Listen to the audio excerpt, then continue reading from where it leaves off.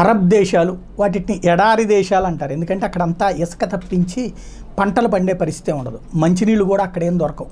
ఇప్పుడు సముద్రపు నీటిని ఉప్పు నీటిని డీసాలిటైజేషన్ చేసి దాన్ని మంచినీటిగా మార్చుకుంటే భారీ కాస్ట్ అవుతుంది. ఆ కాస్ట్ని భరిస్తా తక్కువ ధరకి నీళ్ళు అందిస్తుంది. అవి కూడా బాటిల్స్. మిగతాది వాటర్ ప్రాబ్లం అక్కడ అట్లాగే ఉంటుంది. వాటికే నీళ్ళు తాగడానికే నీళ్ళకి సంబంధించినటువంటిది ఉన్నప్పుడు ఇక మిగతాది ఎట్లా ఉంటుంది? అది ప్రధానమైనటువంటి అంశం. ఇక అక్కడ వ్యవ మరి ఏమీ లేకపోతే ఎలా తింటున్నారు వాళ్ళకి? గోధుమ పిండి ఎక్కడి నుంచి వస్తుంది? పంచదార ఎక్కడి నుంచి వస్తుంది? ఈ ఉట్టి నాన్ వెజ్ పచ్చి అయితే తినరు కదా? దానికైనా కారం ఉప్పు ఇవన్నీ కావాలంటే వాటికైనా కావాల్సి ఉప్పు అంటే సముద్రం నుంచి తీయచ్చును కానీ కారం అయితే కనుక మిరపకాయలు కావాల్సింది కదా? ఎలా చేస్తారు అంటే అక్కడ ప్రతి వ్యవసాయ ఉత్పత్తి కూడా విదేశాల నుండి దిగుమతి అయ్యేదే. ఇతర అన్నీ కూడా విదేశాల నుండి దిగుమతి చేసుకోవడమే.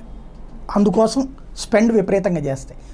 దాన్ని కొన్ని దేశాలు భారీగా అయితే వాళ్ళు క్వాలిటీ కంపల్సరీ. అక్కడ ఏమాత్రం క్వాలిటీ తక్కువ ఉన్నా సరే అరబ్ దేశాలు పొరపాటు కూడా ఈవెన్ అక్కడ ఉన్న హోటళ్ళలో కూడా చిన్న ఈగ కనిపించినా సరే ఈగలో ఈగ కనిపించినా సరే యాక్షన్లు ఉంటాయి త్వరగా. సర్ప్రైజ్ చెక్స్ ఉంటాయి యాక్షన్ ఉంటుంది సీజ్ చేసి పడేసేస్తారు. అంత కఠినంగా ఉంటారు. అంటే నేను చూసింది అయితే నేను తెలుసుకున్నదే.